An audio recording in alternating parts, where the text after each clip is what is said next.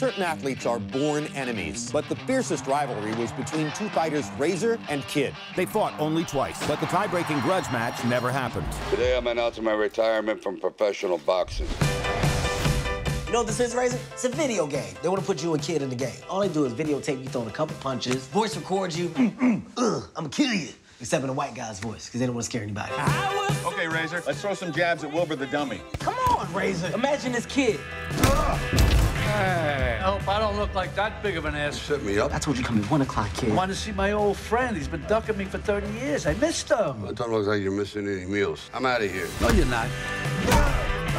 Not the behavior of old men. Check out this clip that is just blowing up online. I got a company that wants the official rematch. They're gonna pay you a hundred grand. Well, I can't be in the same room as that guy. Not worth it. The hell you mean it ain't worth it? I'm looking at your house. I'm your trainer, Mike. You can't be my trainer. Maybe I believe you ate my trainer. Time to train. What have I done?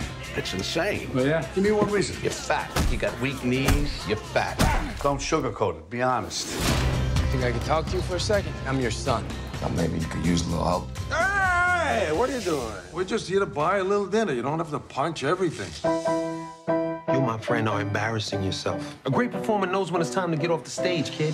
If one of you gets knocked out, is it safe to say you've fallen and you can't get up? The whole world's laughing at us, but we're not dead. In fact, I feel more alive now than I ever felt. Razor, why now? I'm a fighter. I was born to be a fighter. You got every right to hate me, but I need you in my corner. No matter how hard you guys work, it won't be your best. It's the best we got.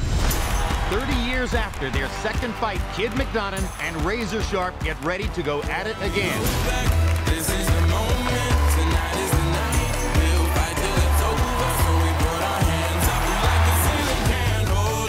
Gutsy move going without a bra. I took a dump on your porch. We are live, guys. We are live right now.